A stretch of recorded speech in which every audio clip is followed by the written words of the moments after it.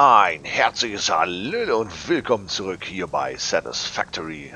Und Freunde, in der letzten Folge habe ich hier oben auf dem Aussichtspunkt gestanden und habe so gedacht, hm, irgendwie ist das auch alles ziemlich leer. Und ähm, das gefällt mir nicht so ganz. Denn wir produzieren hier in der Mitte ja im Endeffekt nur, und äh, ich zeige zeig das mal ganz kurz, ähm, einmal nur den Steel Beam und wir machen nur die Stahlrohre. Und äh, ansonsten ist hier nichts. Aber wir haben ja theoretisch da hinten, wenn wir bestimmte Sachen abbauen, also das, was wir hier aufgebaut haben, im Endeffekt da so ein bisschen reduzieren, dann hätten wir hier genügend Fläche, um dieses kleine Produktions, diesen kleinen Produktionsbereich hier äh, locker da drüben aufzubauen und dazwischen zu lagern. Aus diesem Grunde habe ich mir gerade entschieden, ähm, nach näherer Überlegung, dass wir das, was hier drüben ist, einfach hier rüber packen. Dann können wir nämlich, und ähm, jetzt kommt das Steel Beam, klar, auf der linken Seite produzieren und die Stahlrohre auch auf der linken Seite produzieren. Und jetzt kommt es ja, ähm, wo habe ich es gesehen? Nee, da war es, doch, da war es. War es hier? Einen Moment. Nein, da war es nicht, aber es war hier. Ähm, Turbodraht. Und Turbodraht, nee, entschuldigt, äh, ist ja völliger Quatsch. Ähm, da braucht nur äh, Katerium, das ist auch klar. Und äh, wir können auf der Rückseite quasi hier, also auf dieser Seite ebenfalls nochmal Beton herstellen. Also das, was wir da hinten machen, können wir hier herstellen mit vielleicht zwei Linien. Einmal, ähm, nee, brauchen wir gar nicht mit zwei Linien machen, denn, ähm, einen Moment, ich bin gerade völlig raus. Genau, äh, äh, Encased Industrial Beam. Das wollen wir hier auf dieser Seite ganz außen herstellen mit Beton. Also wir schmelzen hier Beton ein und äh, bringen quasi diese Stahlrohre zueinander. Und ganz, ganz, ganz, ganz außen äh, mit dem letzten Schmelzer, je nachdem wie viel Platz wir hier noch haben, da werden wir den Turbodraht eine Linie aufbauen. Also von daher ähm, gehen wir es an. Äh, quasi ganz schnell. Äh, Im Endeffekt brauchen wir nicht viel dafür. Wir brauchen nämlich nur äh, der Konstruktor kann bleiben. Wir nehmen das weg, wir nehmen das weg, wir nehmen das weg. Dann ist das quasi erledigt. Wir nehmen auch die Manufaktur nochmal weg und dieses Förderband nochmal weg. So, und jetzt, ähm, lasst mich kurz überlegen, wir wollten hier, genau, wir haben hier äh, Stator gemacht und wir wollten hier dann natürlich Motoren herstellen, richtig? Ah, jetzt bin ich wieder völlig durcheinander. Wollten wir da Motoren herstellen? Genau, wir wollten da Motoren herstellen. Und ähm,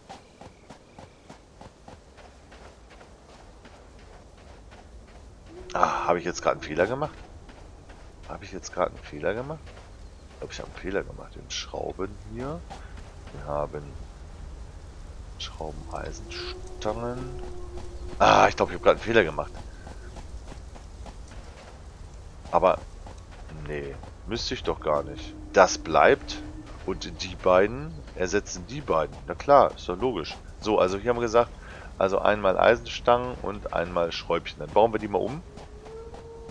Einmal Eisenstangen, Produktion, Eisenstangen, dann Schräubchen. So, dann haben wir die beiden quasi ersetzt. Ähm, setzen eine Manufaktur und dann führen wir zwei Manufakturen zusammen. Ich glaube, so war der Plan. Manufaktur. So.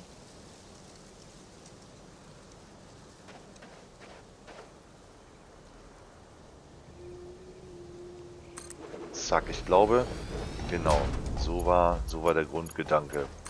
Die hier rein zu fördern, den hier rein zu fördern und hier kam, oh, Entschuldigung, ähm, hier kam jetzt raus der Stator, also müssen wir hier den Rotor herstellen, richtig? Genau, Rotor herstellen und ähm, hier ganz am Ende noch die Manufaktur für die, glauben wir jetzt mal auf gleicher Höhe, ungefähr auf gleicher Höhe mit dem, den wir da auch schon haben.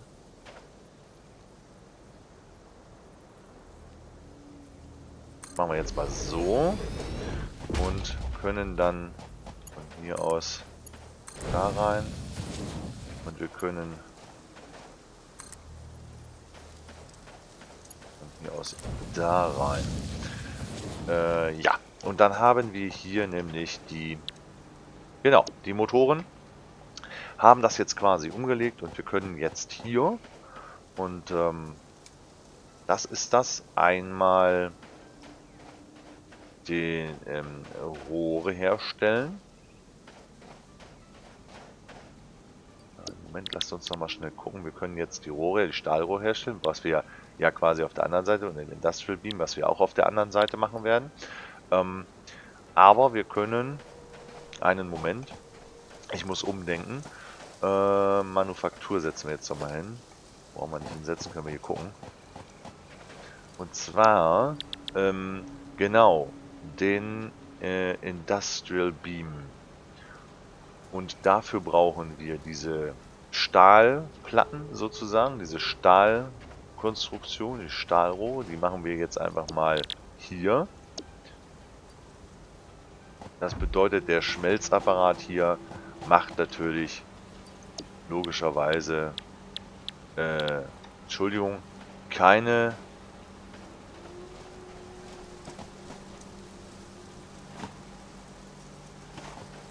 keine ähm, ähm, Schmelzerei, logischerweise.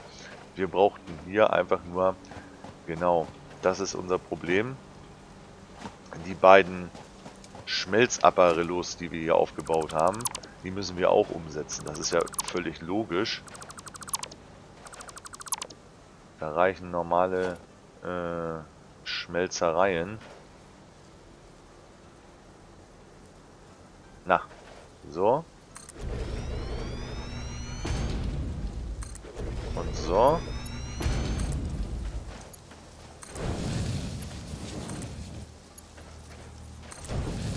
Genau, da reichen normale Schmelzereien äh, für Eisen. Nochmal Eisen. So, und ähm, hier wiederum muss jetzt ein Schmelzer hin. Der soll ja Achso, der soll... Ne, Moment, jetzt sind wir schon zu weit, ne? Genau, das ist völlig richtig. Ähm, äh, das heißt, wir haben... Einen Moment. Genau, wir haben... Äh, wir müssen enger stehen. Ah, wir müssen enger stehen, Freunde. Logischerweise, wir müssen etwas enger stehen. Ähm,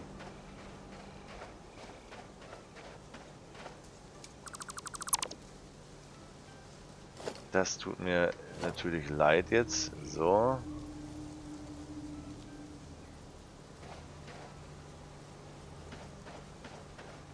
Dann müssen wir die Strommaste nochmal hier äh, entfernen. Ich entferne jetzt mal komplett, bis unser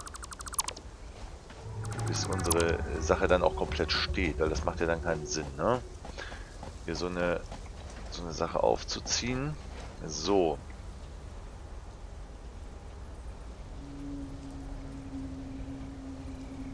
Ist mir da noch ein bisschen Platz? Durchgehen haben wir genug Platz eigentlich, oder? Wir haben doch jetzt genug Platz. So, jetzt haben wir den einen. Äh, Eisen. Und jetzt machen wir noch einen zweiten dazwischen. Nein, das wäre dann der hier. Genau. Den nehmen wir mal weg und setzen ihn mit der 6 daneben.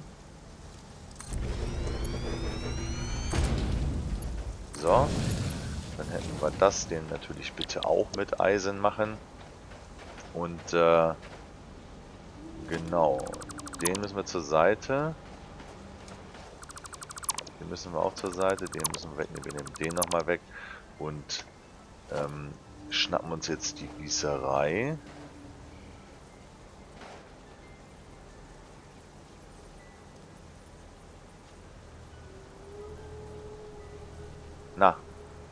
Will er nicht? Jetzt haben wir ihn. So. Da soll er hin. Und ich hoffe, die andere Gießerei passt jetzt noch da. Oh, das passt aber. Mein Gott, nochmal. Das passt jetzt aber auch.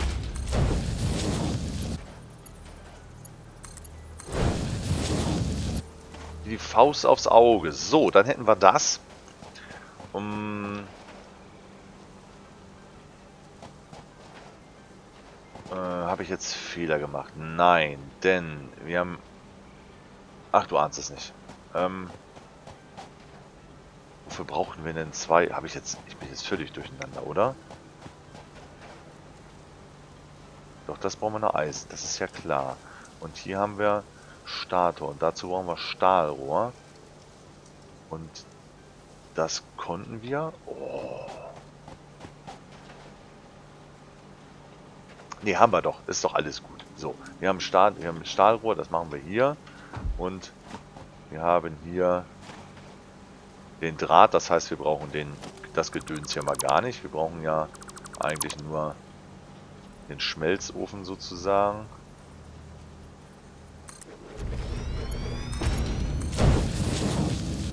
Ähm, genau, den Schmelzofen. Und da brauchen wir natürlich äh, Draht. Das ist auch klar. So, jetzt schauen wir doch nochmal. Ich habe doch hier eins, zwei. Ich habe hier nur einen Schmelzapparillo. Ah, wahrscheinlich, klar, weil ich umgesetzt habe. Den anderen wollten wir da hinten, deswegen fällt einer quasi komplett weg. Wenn wir mal so wollen. So, dann äh, wollten wir... Ähm, nee, stimmt nicht. Wir müssen hier einen, hier müssen wir noch zwischenquetschen. Das ist klar. Einer muss hier noch zwischen. Der muss hier rein irgendwie. Ähm, denn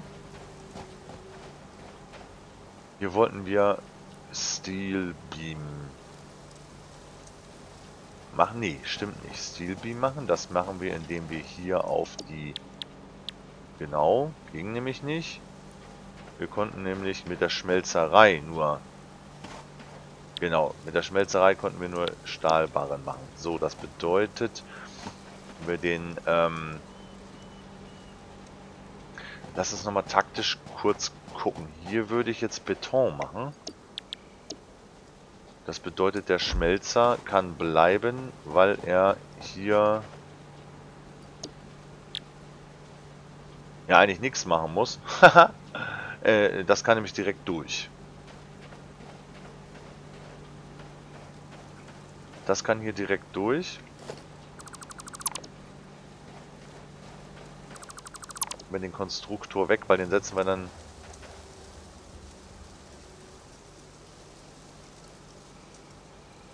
Nee, das macht keinen Sinn. Sorry, ich habe äh, jetzt habe ich Mist gebaut. Ähm, wir lassen den Konstruktor mal hier stehen.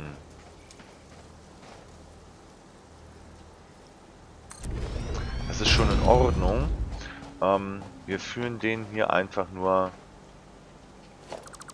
Wir setzen den hier ab und setzen hier einfach nur Platzhalter hin. Und zwar einen Platzhalter mit äh, einem Verteiler. Denn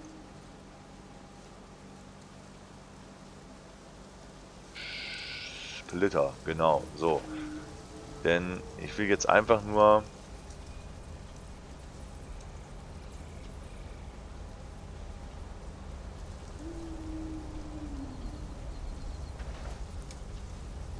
so ähm, möchte nämlich einfach nur, dass äh, dieses, dieses Teil hier in der Mitte quasi Platz frei gibt. So. Ähm, dann haben wir hier die Produktion von äh, Beton. Habe ich den... Achso, den habe ich gerade weggemacht. Der ist ja nicht so schlimm. So, Beton. Und hier das Teil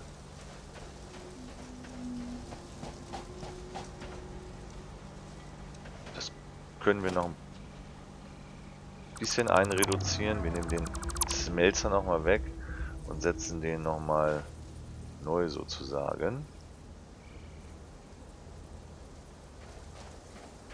Können wir nicht, weil der Draht hier, der Mast im Weg ist. Macht nichts.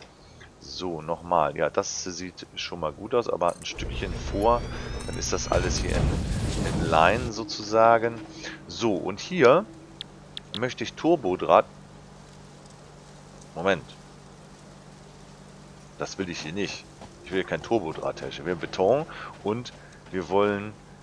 Genau, wir wollen hier... Papapapap, Steel Beam herstellen.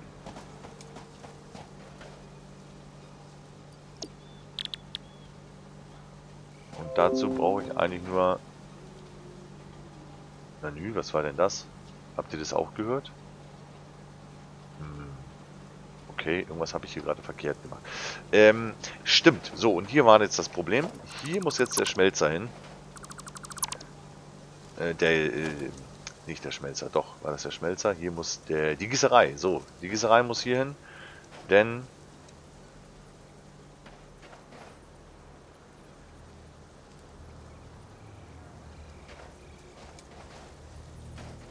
Na, jetzt will er mich aber auch Boden zu steil. Was ist denn? Das ist doch eine Fläche. Okay, dann packen wir es hier hin.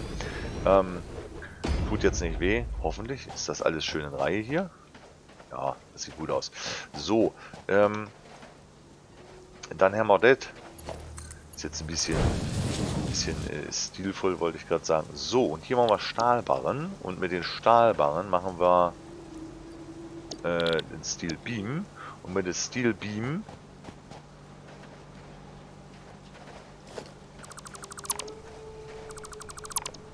Steel Beam machen wir jetzt. Entschuldigung, noch eine Manufaktur, die müssen wir hier noch setzen.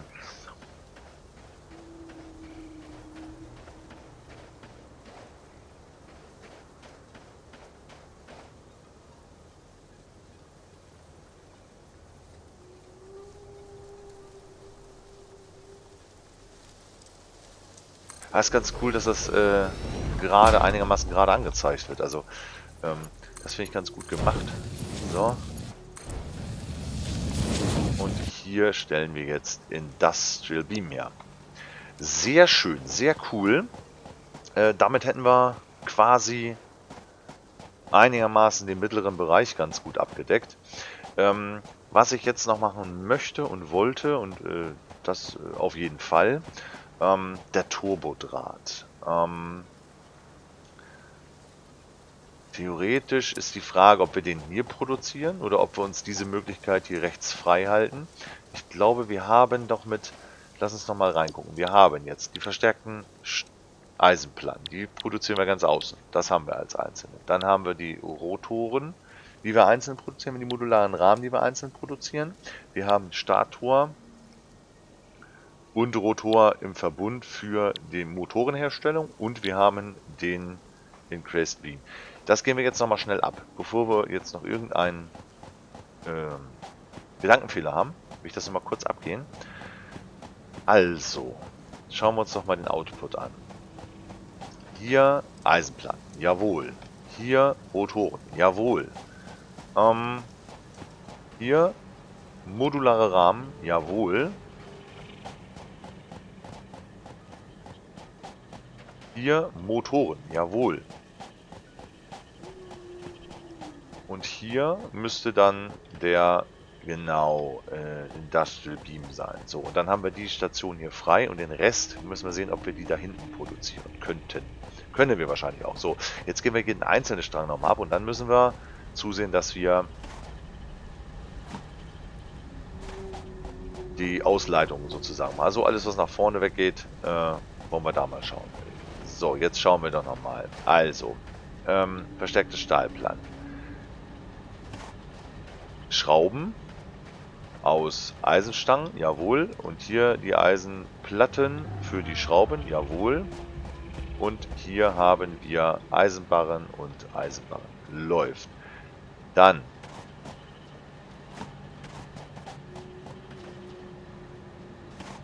Rotoren. Rotoren brauchen Eisenstangen und Schrauben. Hier sind die Eisenstangen. Da sind die Schrauben und hier sind auch nochmal die Eisenstangen. Jawohl, beides müsste hier auf Eisen laufen. Hier ist einmal Eisen. Da ist einmal Eisen. So, dann... Papp, papp, papp, papp, papp. Ähm, verstärkte Stahlplatten. Achso, natürlich, verstärkte Stahlplatten. Für verstärkte und äh, Eisenstangen. So, verstärkte Stahlplatten brauchen wir natürlich Schrauben, klar.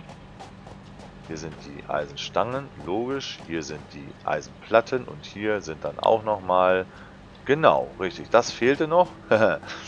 und das waren Eisenstangen, richtig? Müssen wir mal eben kurz gucken. Ja, Eisenstangen. Also, wir brauchen hier Nummer 3 Eisenstangen. So, Eisenstangen. Und das heißt, beides muss hier mit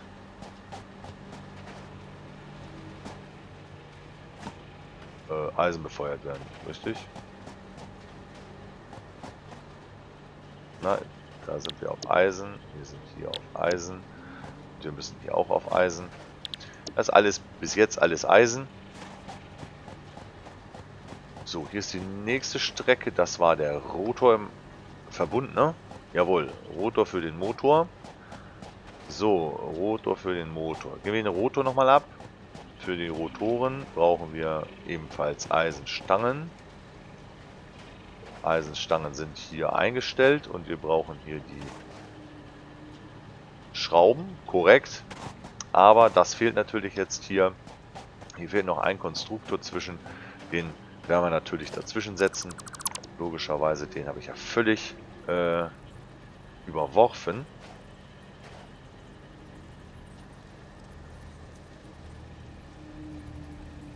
So.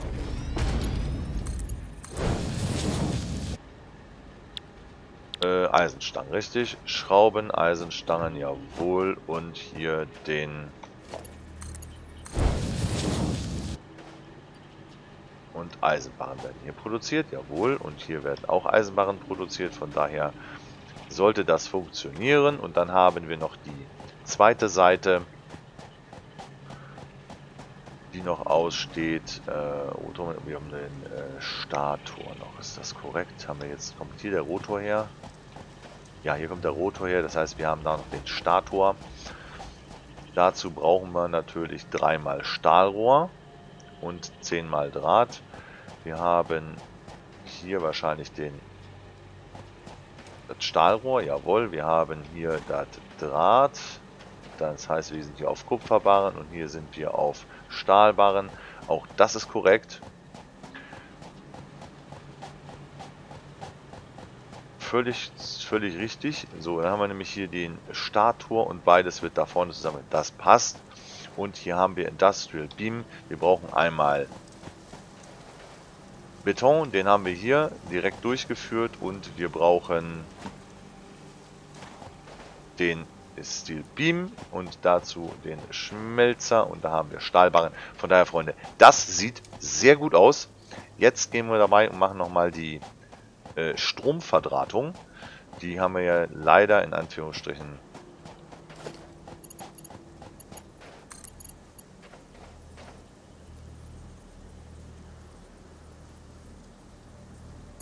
So. Das gehen wir hier ganz gemütlich ab.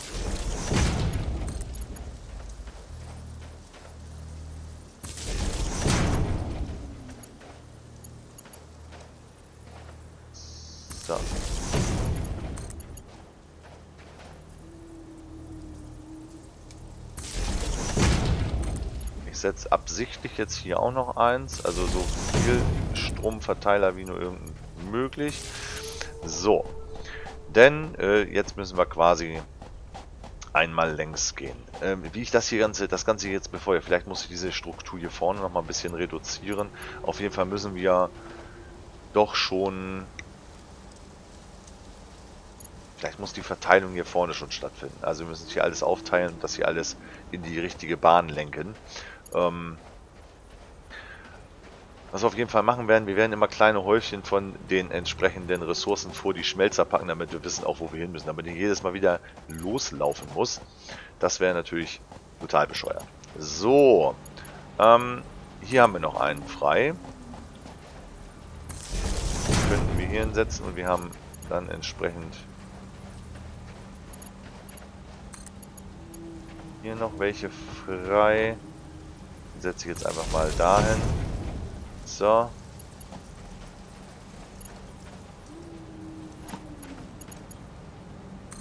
So.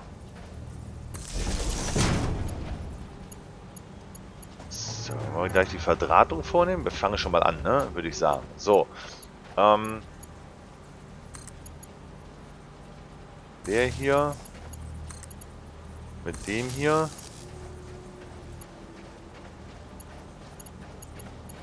Der hier mit dem. Und die beiden mit dem hier. So, dann haben wir die Strecke, die ist quasi unter Strom gesetzt.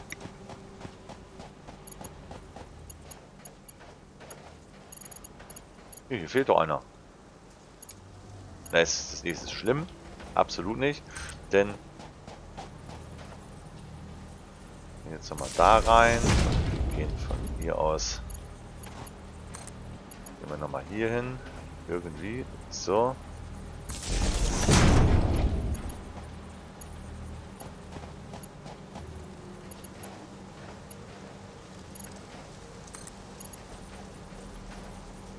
Ah, das passt ja gerade so. Okay.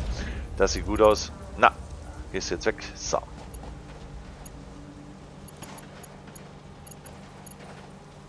Der ist angebunden. Dann gehen wir von dem nach da. Wir gehen von dem dahin und dahin. Und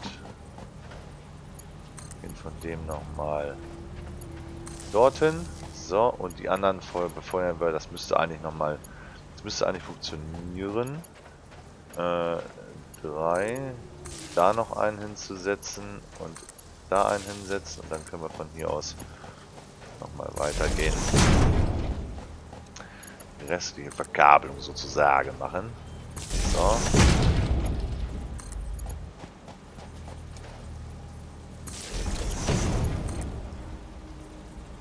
Achso, der ist schon angeschlossen. Dann setzen wir den mal unter Strom. Wir setzen... Der ist auch schon angeschlossen. Den mal unter Strom. Den Rest machen wir dann von den hier. Äh, achso, der ist da schon angeschlossen. Der ist genau so. Die sind auch angeschlossen. Der muss noch, klar, der muss auch noch befeuert werden. Ähm, ja, weiter geht's. Das machen wir jetzt in dieser Folge, denke ich, auf jeden Fall noch. Dass wir hier noch die Stromanbindung machen. Den haben wir angebunden. Hier sitzen wir, ziehen wir nur ganz kurz rein. So. Damit wir den angeschlossen bekommen, damit wir, der ist schon angeschlossen, damit wir den angeschlossen bekommen. Und das ziehen wir hier weiter durch.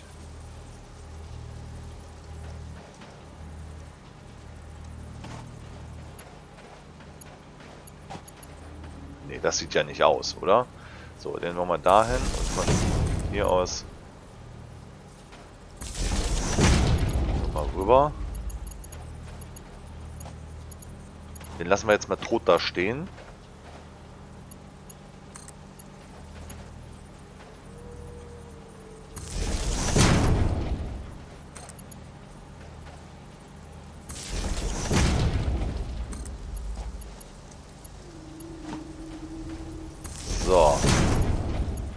müsste doch den dahin. So, die beiden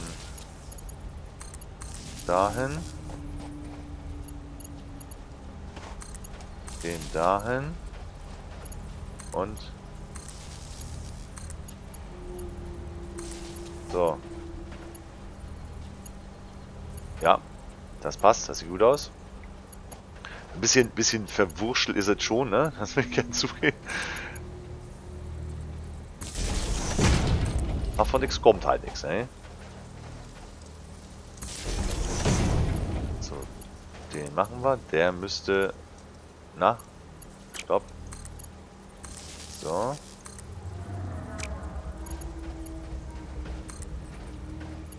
Der ist angeschlossen. Und den machen wir da dran.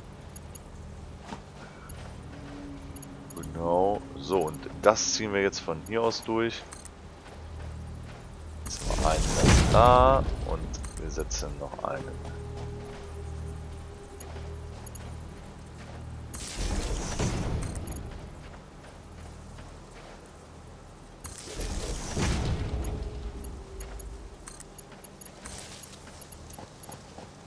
So, den daran, den dort ran, den natürlich daran. Der ist voll. Macht aber nichts.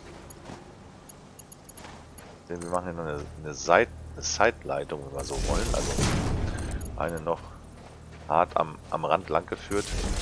So, und dann haben wir quasi noch eine Verbindungsstelle dahin und eine dahin. Und ich glaube, Jetzt müsste eigentlich alles unter Strom sein, oder? Das werden wir jetzt mal überprüfen. Wir haben noch hier so einen schönen Beobachtungsturm. Den werden wir jetzt nochmal aufstellen. Ich glaube, den lasse ich nochmal so. Ähm, den stelle ich jetzt einfach mal... Doch, den stellen wir jetzt einfach mal hier rein. Hier ist momentan nichts. Äh, und mit, diesem, mit diesen Worten klettern wir nochmal rauf. Und schauen uns das ganze Ding von oben an. So, Freunde. Ich würde sagen, verdammte Scheiße, wir haben es. das sieht gut aus, oder? Nice, echt gut, echt super. Ähm, so, mal ein schönes Bild einfangen hier, ja. So, nochmal ein echt cooles Bild einfangen. So, ich glaube, das sieht echt nice aus. Das sieht echt gut aus. Ja, Freunde, ich würde sagen, das war's für diese Folge. Wenn es euch gefallen hat, lasst mir ein Däumchen da gerne auch ein Abo und äh, schreibt mir gerne was in die Kommentare. Und äh, ich freue mich auf euch äh, in der nächsten Folge, wenn wir hier ein bisschen weiter ausbauen und äh, quasi die ganze Versorgungsstrippengeschichte quasi von hier komplett hier rüberführen und dann quasi hier unten irgendwie mal sehen, wie wir das Zentrallager da aufbauen, unten reinführen wollten, was ja, wir wollten uns es unten reinführen. Mal sehen, wie wir das organisiert bekommen. Ich glaube, wir werden erstmal Ach, Leute, das machen wir in der nächsten Folge, würde ich sagen. Das machen wir in der nächsten Folge. Ich mir sonst alles wieder zu viel. Also, ähm, ich freue mich auf euch. Bis zum nächsten Mal. Ciao, ciao.